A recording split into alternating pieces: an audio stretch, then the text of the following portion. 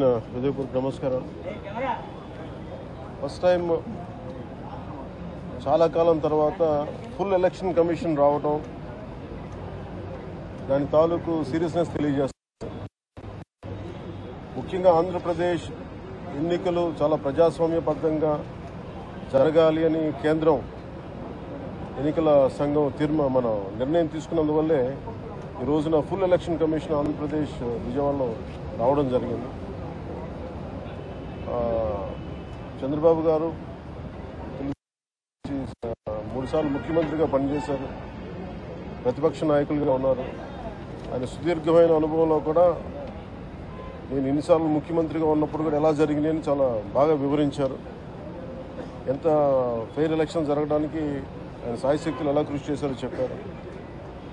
జనసేన తరపు అలాగే వైసీపీ ఏమేం చేసింది ఇప్పుడు దాకా? దొంగ ఓట్లు ఎలా రిజిస్టర్ చేశారు?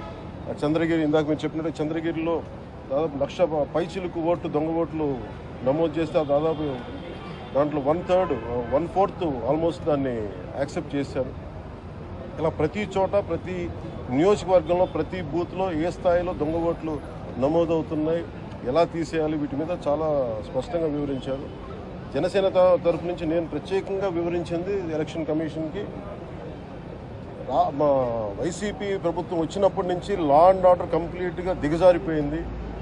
ఎవరన్నా ప్రజాస్వామ్య తప్ హాని జరుగుతుంటే గొంతెత్తితే పొలిటికల్ పార్టీస్ కానీ వ్యక్తులు కానీ ప్రైవేట్ వ్యక్తులు కానీ వాళ్ళందరి మీద కేసులు ఎలా పడుతున్నాయి కేసులు ఎలా చేస్తున్నాయి ముఖ్యంగా బైండ్ ఓవర్ కేసులు ప్ర- ప్రత్యేకించి పొలిటికల్ పార్టీ టీడీపీ వారి మీద కానీ జనసేన సైన్య కార్యకర్తల మీద కానీ ఇవన్నీ చాలా క్లియర్గా తెలియజెప్పడం జరిగింది వారికి. అలాగే పోలీసు అధికారుల్ని ఇప్పుడు సడన్గా మారుస్తూ ఉన్నారు. ఇప్పుడు లాస్ట్ రెండు నెలలుగా మార్చేస్తూ ఉన్నారు. మళ్ళీ ఎన్నికలు సంఘం వచ్చేటప్పటికి మళ్ళీ వాళ్ళకి కావాల్సిన అధికారులను తిరిగి అక్కడ వేయించుకునేలాగా చ- తీసుకొచ్చిన ప్రణాళికలు చేస్తాం అది కూడా బలంగా తెలియజేస్తాం అలాగే మహిళా కానిస్టేబుల్స్ ప్రత్యేకించి సంబంధం లేని చోట్ల వాళ్ళు దాదాపు ఎనభై ఏడు నియోజకవర్గాల్లో వాళ్ళు పెట్టారు. అది వాళ్ళు దూరం చేయమని ప్రత్యేకంగా ఆయన వివరించారు.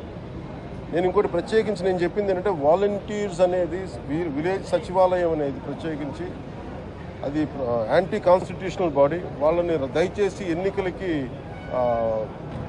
ఎన్నికల సమయంలో వాళ్ళని ఉపయోగించొద్దని చెప్పి ప్రత్యేకించి విన్నవించాం. అలాగే మేము కోరుకుంది ఏంటంటే మీరు కనుక సంపూర్ణ దీని వైపు చూడకపోతే పారదర్శకత గల ప్రజాస్వామ్యం కూలి అయిపోద్ది ఇక్కడ హింస ఎక్కువైపోద్ది.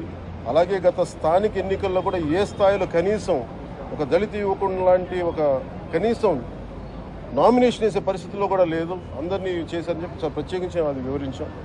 ఖచ్చితంగా వాళ్ళు ఒకటే ఎన్నికల ప్రధానాధికారి ఒకటే చెప్పారు ఆయన సీఈఓ.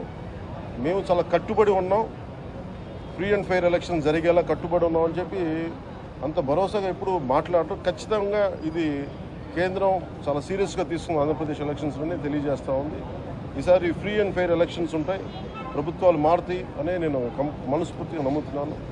అలాగే ఈ పరిస్థితుల్లో కేంద్ర ఎన్నికల సంఘం ప్రధానాధికారులందరికీ కూడా ప్రత్యేక ధన్యవాదాలు తెలియజేసుకుంటాను